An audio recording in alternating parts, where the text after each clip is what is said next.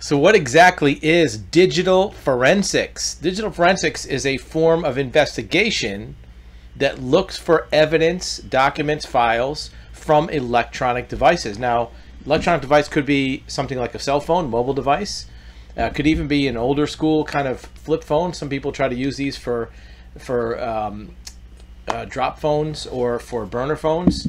Maybe even like a tablet. Some people use computer tablets. Could be actual computers like a laptop or a uh, desktop. Even other electronic devices like the telematics in your vehicle, your uh, smart devices in your home, your routers, your uh, Wi-Fi devices. All are electronic devices that carry records, data, documents, even photos. And sometimes they carry records of connections like your router might keep track of what websites you go to. Digital forensics, as you can see from this funny little cartoon here from a, a Lego, um, you know, a Lego meme, is the act of extracting records from these types of devices. You're going to extract data. If it's a mobile device, maybe you're extracting uh, text messages, photos. If it's telematics in your vehicle, you're extracting the data from that vehicle, the GPS location, did it when it started, stopped. You could even tell when doors were opened, if somebody was sitting in a seat, pressure sensors on the seat, when the brakes were applied, what radio stations. Many times it'll also connect to your Apple uh, iPlay or Android Auto and keep track of that data. Um, other electronic devices like the thermostat in your uh, house or your office, when the temperature went up and down, when lights came on and off.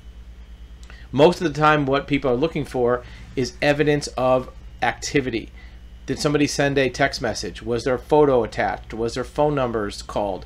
Uh, were there other apps like WhatsApp or other secret type of communications? Did messages get exchanged through gaming platforms? Digital forensics is where a licensed investigator will go into these devices, extract out records, and give a report about what happened with that device for a certain period of time. There could even be uh, digital forensics performed on um, SD cards. You know, the little chips that people put into, you know, um, things like GoPros or other devices.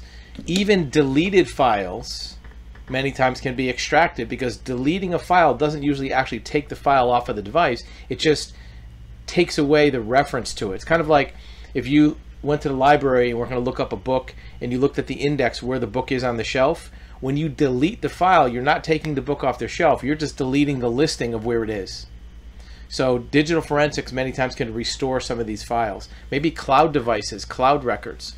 Sometimes even phone systems. If you have a voicemail, many times that voicemail is stored as a file on a computer.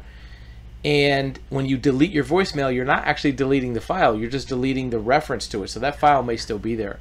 Many types of records can be re, uh, restored from digital forensics. If you have electronic records, evidence, information that you think will be helpful to you, contact us to see if digital forensics can help recover some of these files and bring them back to life to help you understand the facts of your case or to know with peace of mind really what's going on.